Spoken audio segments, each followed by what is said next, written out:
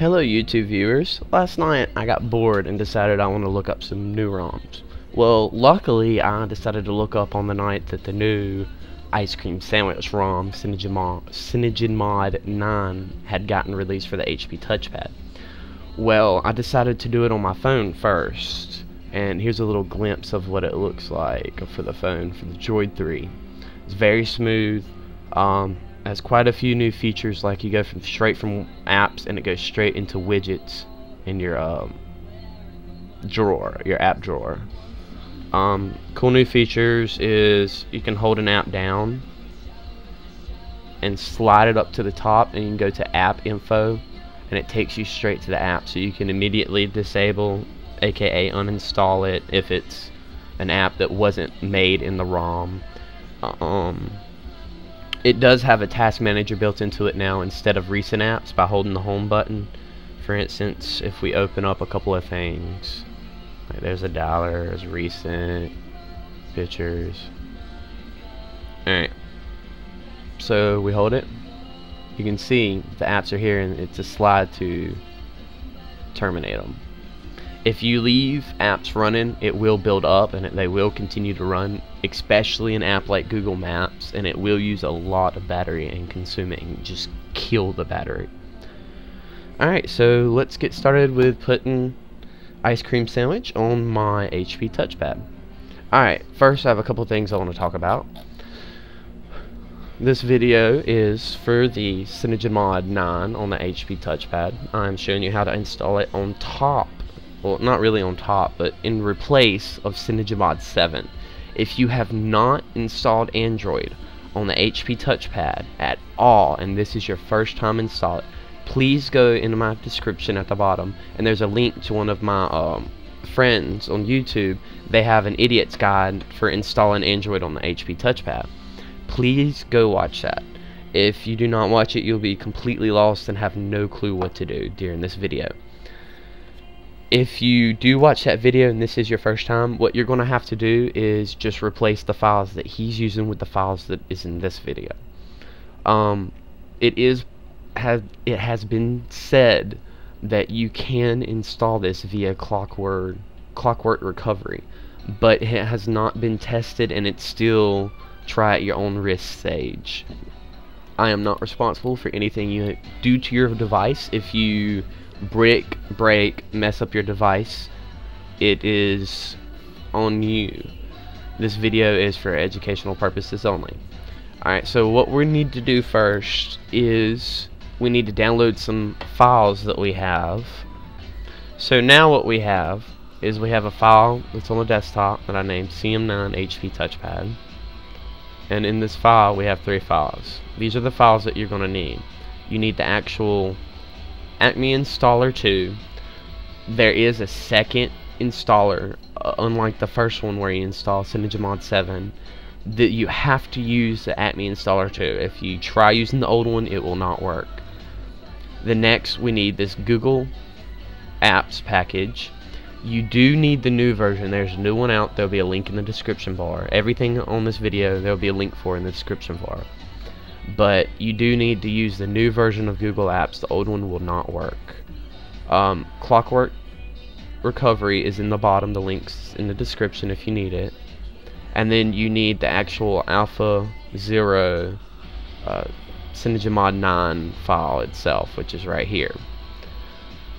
Alright, so next what we need to do is, if you're watching this, then you have saw the Idiot's Guide installation video or you already have CyanogenMod 7 on your HP touchpad. And what we need to do is go to the PC we need to go to C. Program files. And we need to go down to Palm Inc.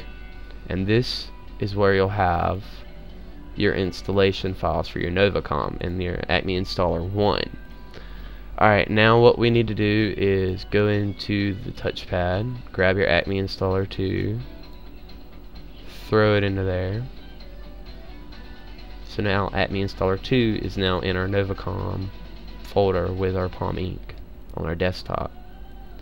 Next, what we need to do is go into the device itself and plug it up, which I'll show you right here. Plugging it up now.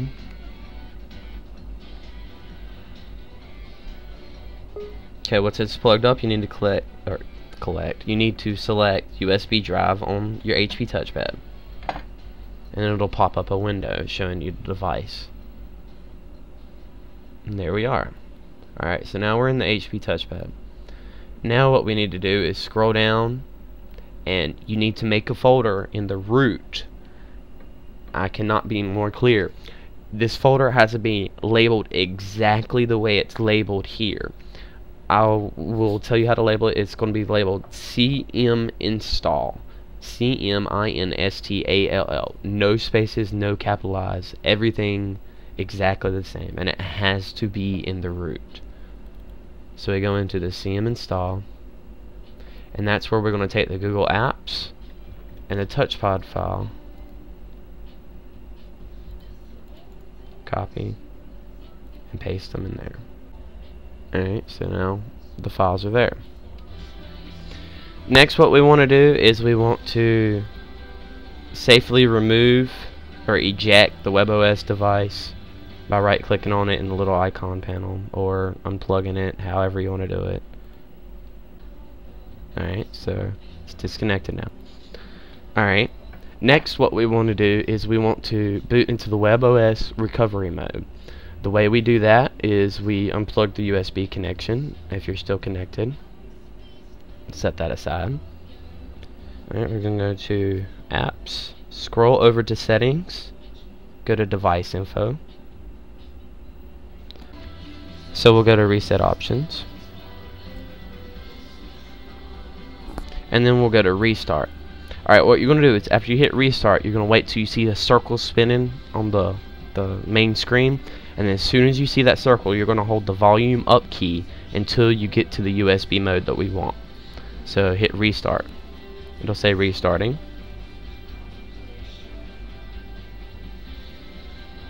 Alright there's a circle. Now we're going to start pressing the button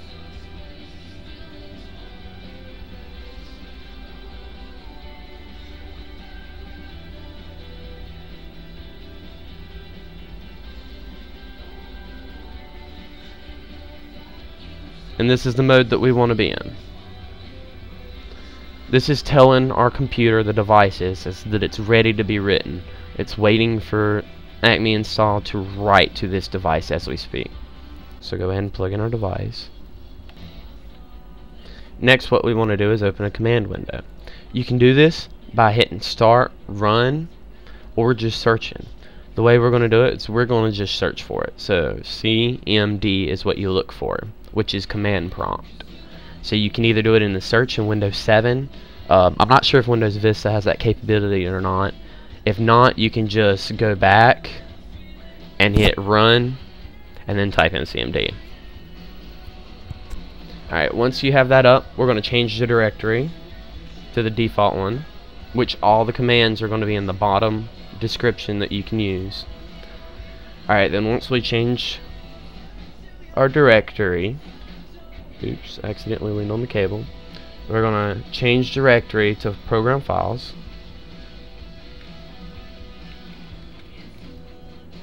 And then from there, we're going to change directory again to Palm, comma, space, Inc. So now we're in Palm Inc. Alright, and we're going to do dir for directory. It tells us what's in there. And as you can see, we have Acme installer, Acme installer 2, Novacom exe, Novacom D, and then terminal. So next, what we're going to enter is Novacom space boot space mem colon slash slash less than symbol. You got to enter this exactly how it says it right there.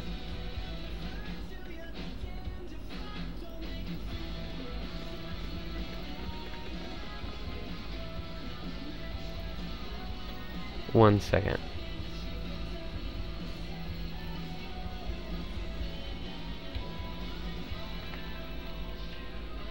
Sorry.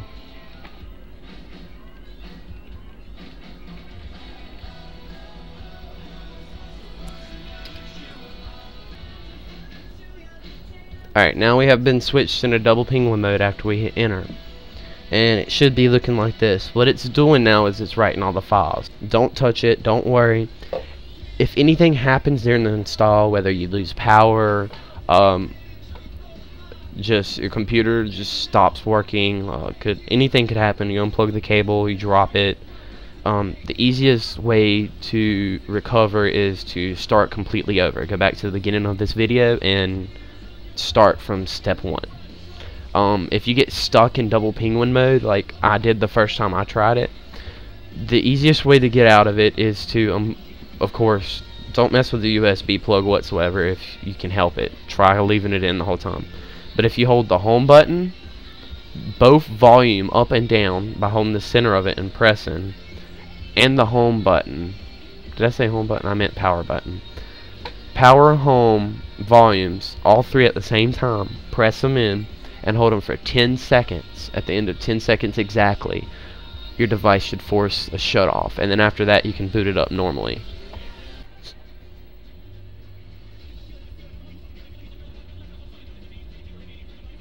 And see now it's removing Google Apps installation file. It's already installed Google Apps. And it's flushing the cache.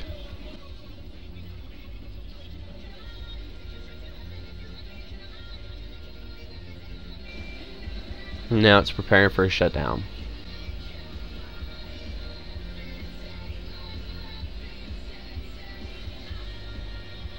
And there it goes. Alright, next we're going to go boot into the Clockwork Mod.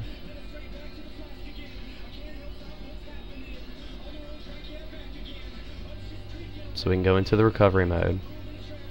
Alright, first what we're going to do is wipe the cache.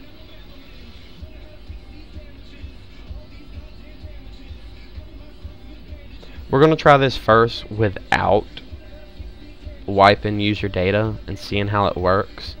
We might have to come back into it and wipe the user data. Do not know yet. And we will reboot system now and see how this works. And we will go ahead and unplug the USB.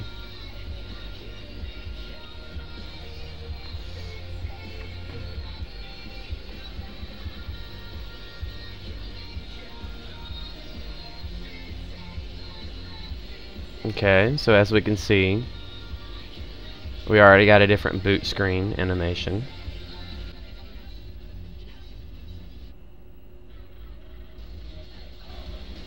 By the way, if you have noticed, I have music playing in the background. I do not claim any rights to any of the songs that have been played on any of my videos. I usually listen to iHeartRadio in the background as I'm doing my videos, so just to let everyone know that it's just random music that I just turn on a random station as I start the video.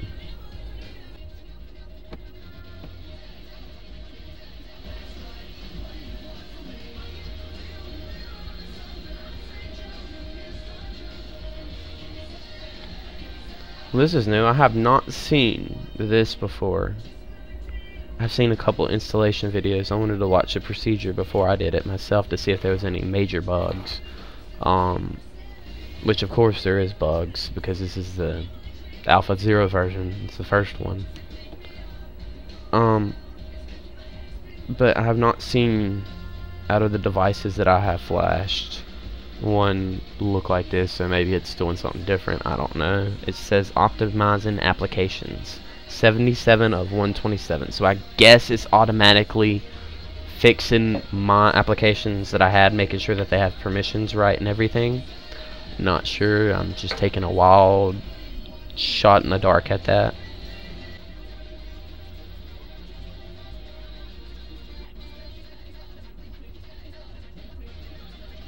And it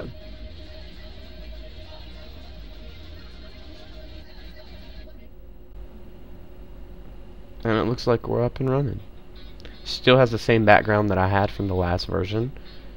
The clock's on. Looks like we're already connected to my Wi-Fi and it remembered it.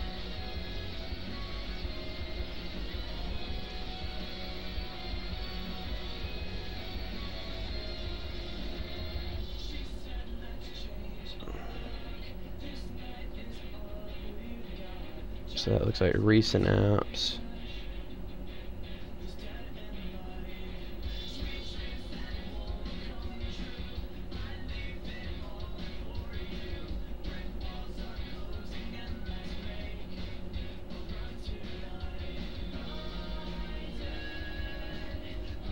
So my apps are currently being brought in as we speak.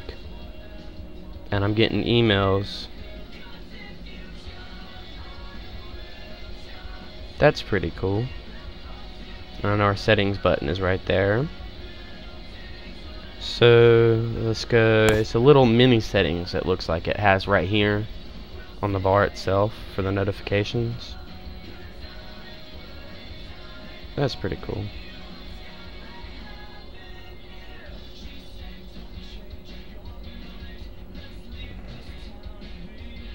So let's go into the main settings.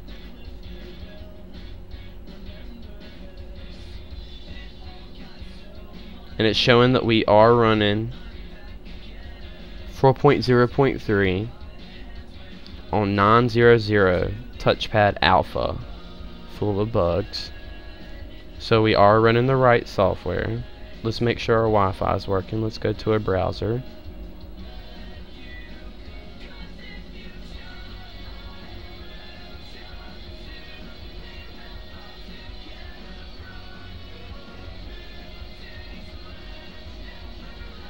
Okay, so it looks like we're using Google Chrome as the browser.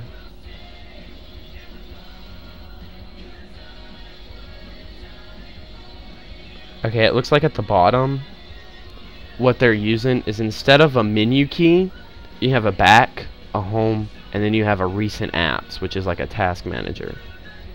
So that that's pretty cool.